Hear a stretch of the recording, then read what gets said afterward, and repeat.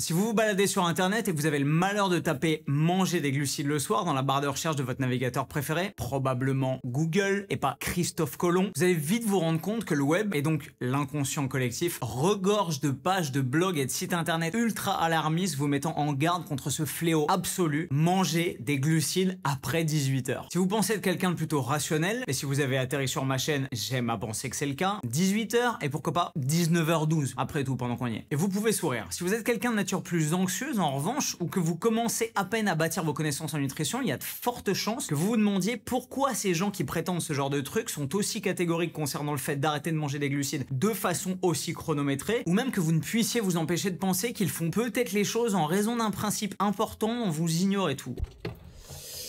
Mais finalement, y aurait-il une connaissance fondamentale qui m'échappe Notre métabolisme serait-il fait pour fonctionner de façon totalement différente une fois la nuit tombée Ou y aurait-il quelque part un grand horloger dont j'ignore totalement l'existence et qui promettrait le salut à quiconque s'abstient de consommer des glucides après 18 heures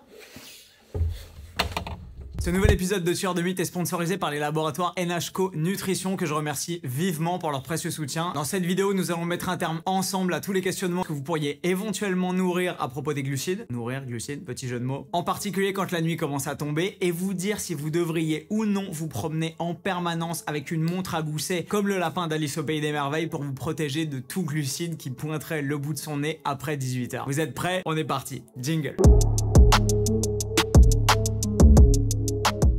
18h Mais pourquoi 18h ce qu'il y a de plus magique avec les fausses croyances, je pense, c'est que plus elles sont énoncées de façon précise, plus elles ont tendance à nous hanter le soir sous la couette quand on contemple bêtement le plafond en essayant vainement de trouver le sommeil, tout en se demandant si on doit garder la barbe au-dessus ou en dessous des couvertures. 18h, c'est précis 18h. 18h ça sonne bien. 18h normalement c'est l'heure à laquelle les loups commencent à sortir du bois, l'heure à laquelle les gens sortent du travail et sont à nouveau livrés à eux-mêmes, remplis de la fatigue mentale et de l'ennui de leur de journée, et l'heure à laquelle ils commencent à se dire et si on bouffait quelque chose de sympa pour se changer un petit peu les idées? Et comme les gens qui ont passé une sale journée ont évidemment rarement envie de se réconforter avec une assiette de crevettes et du céleri, on comprend rapidement à quel point l'idée selon laquelle consommer des glucides après 18h serait une folie a pu se répandre comme une traînée de poudre au fil des dernières années. Parce qu'elle dérange tout le monde. En rentrant chez vous le soir fatigué et la tête encore remplie de tout le stress et tous les soucis de l'interminable journée que vous venez de subir ou de vous imposer en fonction de la façon dont vous pensez que vous contrôlez ou que vous subissez votre existence, il y a de fortes chances que vous ayez davantage envie de vous jeter sur une tablette de chocolat, des biscuits apéro ou un plat de pâtes que sur une salade de thon et un blanc de poulet. Et pourquoi ça? Parce que l'industrie agroalimentaire travaille évidemment depuis quasiment 100 ans pour créer des snacks, des bonbons, des gâteaux, tous plus délicieux les uns que les autres, et que les géants de la grande distribution savent pertinemment ce qui vous fait le plus envie et comment mélanger les ingrédients et les assaisonner au mieux pour vous faire craquer. La recette est généralement extrêmement simple. Du sucre et des lipides à volonté pour obtenir une saveur douce et sucrée, assortie d'une texture inédite, moelleuse et fondante, et paf ça marche évidemment à chaque fois. Alors oui, vous pourriez vous dire que vous êtes plus malin que ça, que vous êtes le seul à décider de ce qui entre dans votre bouche, et vous avez parfaitement raison, et que ça n'est pas parce que les grandes surfaces et les stations-service regorgent de snacks plus délicieux les uns que les autres que vous devez forcément les acheter et vous goinfrer en rentrant du travail. Mais ce serait négliger totalement l'énorme influence de l'exposition constante aux publicités à la télé, dans le métro, dans les journaux, dans votre boîte mail, dans la rue, en sortant de votre travail, et même évidemment maintenant sur votre téléphone et partout ailleurs. Si vous vivez dans un environnement un tant soit peu citadin, si vous vivez au fond des bois dans un tipi, grand bien vous fasse, il n'y a aucune chance que vous puissiez passer une journée entière sans voir ou entendre une seule publicité essayant de vous vendre de la nourriture. Et qu'est-ce qu'on essaye de vous fourguer en priorité dans la réclame alimentaire? Oui, réclame alimentaire, ça fait très années 50. Des salades et du poisson? Que déni Entendre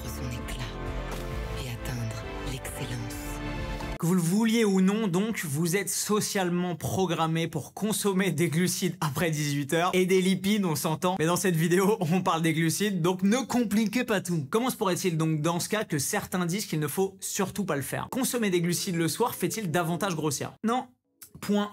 Et je vais vous l'expliquer de trois manières extrêmement simples. La première fait simplement appel à votre sens de la logique et se concentre sur votre total calorique. Et pour vous aider à comprendre, nous allons utiliser une petite analogie financière. Imaginez que toutes les calories que vous pouvez consommer chaque jour sans prendre de poids correspondent à l'argent que vous pouvez dépenser chaque mois sans vous mettre à découvert. C'est facile, on est d'accord. Si vous avez 1000 euros à dépenser par mois et que vous dépensez 900 euros du 1er au 25, vous ne pourrez pas dépenser 500 euros de plus entre le 26 et le 30 sans vous mettre dans le rouge. Vous allez claquer trop d'argent et le total de vos dépenses va évidemment dépasser le total de votre budget, pas top. En revanche, si vous structurez vos dépenses sur le mois de façon à ne dépenser que 500 euros entre le 1er et le 25 du mois, dépenser 500 euros entre le 26 et le 30 ne vous fera évidemment pas dépasser votre budget total, puisque la totalité de vos dépenses s'élèvera bien à 1000 euros et que c'est exactement ce que vous pouviez vous permettre de dépenser sur le mois. Ce qui conditionne donc votre équilibre financier, c'est bien le total de vos dépenses et pas spécialement la période à laquelle vous dépensez votre argent, on est d'accord? Eh bien c'est exactement la même chose avec vos calories. Ce qui conditionne la prise ou la perte de poids, c'est l'intégralité des calories que vous allez consommer par rapport à ce que vous dépensez. Et pas spécialement le fait que vous les consommiez en fin de journée plutôt qu'au début. Si vous dépensez 900 euros le premier du mois, vous allez évidemment avoir du mal à tenir votre budget pour survivre avec 100 euros les 29 jours qui restent. Et de la même façon, si vous éclatez la totalité de vos calories disponibles au petit déjeuner, bah il va plus vous rester grand chose pour traverser la journée et manger davantage en fin de journée va évidemment vous amener à dépasser votre total calorique et sans doute à prendre du poids. Mais si vous structurez encore une fois intelligemment vos apports énergétiques au cours de la journée et que vous gardez suffisamment de calories sous le coude pour les manger le soir en rentrant du travail par exemple ou au dîner après l'entraînement, du moment que vous ne dépassez pas votre total calorique quotidien, il n'y a aucune raison pour que vous preniez du poids. La deuxième façon de comprendre le problème est de se demander s'il n'y aurait pas un procédé métabolique un peu obscur qui nous amènerait à conserver toutes les calories consommées en fin de journée parce qu'on n'aurait pas vraiment l'occasion de les dépenser pendant la nuit. On entend effectivement parfois cet argument étrange que consommer des calories le soir fait grossir parce que le corps n'a pas l'occasion de les brûler en fin de journée ou pendant la nuit. Ce qui leur donnerait tout loisir de s'accumuler sur nos petits bourrelets sous forme de tissu adipeux supplémentaire. Mais c'est totalement faux. Votre corps est en permanence en train de brûler des graisses pour fonctionner et de stocker simultanément de l'énergie en vue des prochains efforts. Ce qui compte, c'est comme toujours l'air sous courbe, c'est-à-dire la quantité totale de calories que vous allez consommer et brûler au cours de la journée. Pas le moment où vous allez consommer vos calories. De plus, penser qu'on brûle moins de calories en fin de journée parce qu'on est à peu près immobile pendant notre sommeil est une grossière erreur. Comme vous le savez probablement si vous me suivez depuis un moment, le sommeil est un processus absolument capital pour l'optimisation de la santé et la régulation de l'ensemble des paramètres de notre appétit, notre métabolisme et notre composition corporelle. Le sommeil c'est extrêmement important, vous le savez, j'en prends grand soin depuis des mois, voire des années, mais plus particulièrement en ce moment, et c'est la raison pour laquelle je suis extrêmement heureux que cette vidéo soit sponsorisée par les laboratoires NHCO Nutrition. Si vous ne connaissez pas la marque, c'est une marque extrêmement quali, fondée en France dans les Alpes-Maritimes par un docteur en pharma. Leur équipe scientifique formule des compléments alimentaires à base d'acides aminés. Oui, vous avez mis dans le mille les petits composants qui servent à fabriquer toutes les protéines, y compris les protéines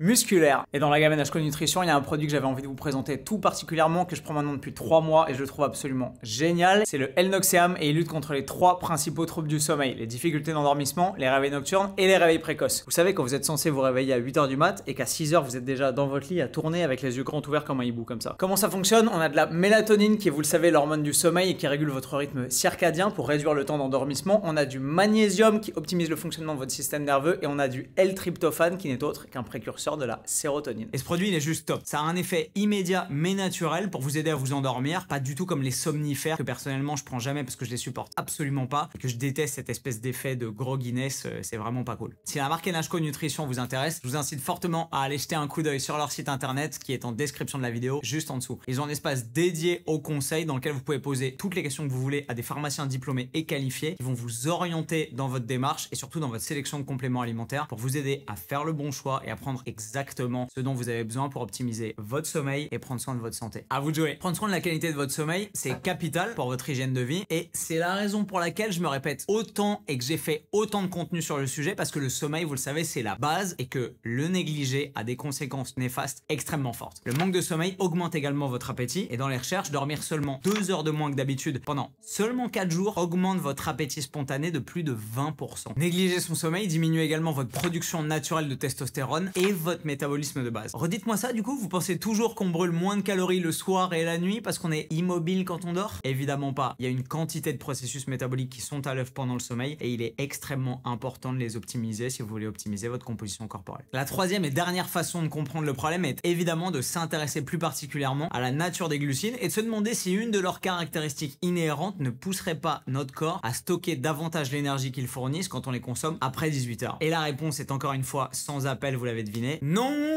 votre corps stocke l'énergie excédentaire, le surplus calorique, quels que soient les macronutriments qu'il constitue, et seul le total calorique compte. Si vous mangez plus que vos besoins, peu importe que vous consommiez trop de protéines, trop de lipides ou trop de glucides, votre corps stockera simplement le surplus, puisqu'il a la capacité, évidemment vous le savez probablement, de transformer les glucides et les protéines en acides gras et de les stocker sous forme de graisse. Vous pouvez par exemple parfaitement prendre du gras en vous amusant à manger uniquement des protéines. Du moment que vous mangez plus que vos besoins, votre corps stockera l'excédent calorique sous la forme de ses réserves énergétiques de prédilection vous le savez, du tissu adipeux. En bref, et les recherches le montrent parfaitement, une surconsommation de glucides se traduit par la même accumulation de masse grasse qu'une surconsommation de lipides ou de protéines lorsque l'apport calorique est le même. Ce ne sont donc pas les glucides en soi qui font grossir, évidemment vous l'avez compris, mais simplement le fait de consommer encore une fois trop de calories. Manger des glucides le soir pourrait-il même être bénéfique? Que j'aime quand vous posez les bonnes questions. Et la réponse est oui. Contrairement à ce qu'avance la croyance populaire, consommer une bonne partie de vos glucides le soir ou avant de vous coucher peut même être une excellente idée pour votre santé. Impossible vous dites? Laissez-moi vous expliquer avant de me jeter la première patate douce. Primo, en pratique, la plupart des gens qui ont le temps de faire du sport dans leur journée le font principalement en fin de journée après le travail, c'est pas un secret. Donc selon le principe extrêmement logique et même assez intuitif consistant à concentrer la majorité de ses apports caloriques autour de ces périodes d'activité physique, il devient dans ce cas carrément intelligent de rassembler vos calories et donc aussi vos glucides en deuxième partie de journée après votre entraînement. Bien que la consommation de glucides ne soit pas vraiment un facteur déterminant de performance pour la musculation, si vous vous entraînez dans un sport d'endurance comme ça a été fortement mon cas pour préparer ma course de 120 km dans le désert pour le half marathon des sables, ou que vous pratiquez un sport avec une demande d'effort glycolytique plus importante que la musculation, coucou les crossfitters, alors reconstituer vos réserves de glycogène en consommant suffisamment de glucides après votre entraînement en fin de journée devient parfaitement sensé. Et même si vous vous entraînez pas en fin de journée, voire pas du tout, vous avez parfaitement le droit de rester faible et mou à vie. Non, je déconne.